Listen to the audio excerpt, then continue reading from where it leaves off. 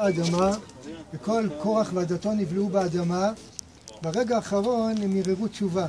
אפילו לא היה להם זמן להגיד משהו, רק ערערו תשובה. ברגע זה שהם ערערו תשובה, כבר הם יצאו, ולא רק שיצאו, אלא מזרעם נולד שמואל ששקול כנגד משה ואהרון, ואחרי כן הם זכו לעבוד במקדש, לנצח לבני קורח, היו לוויים.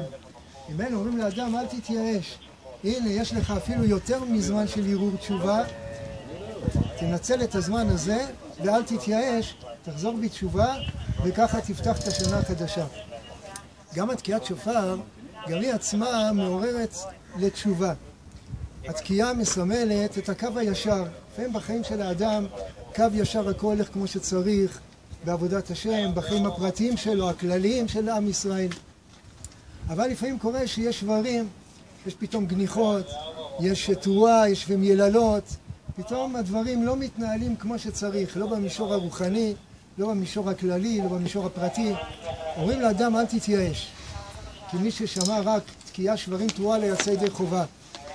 אתה צריך גם אחרי כן לתקוע עוד פעם,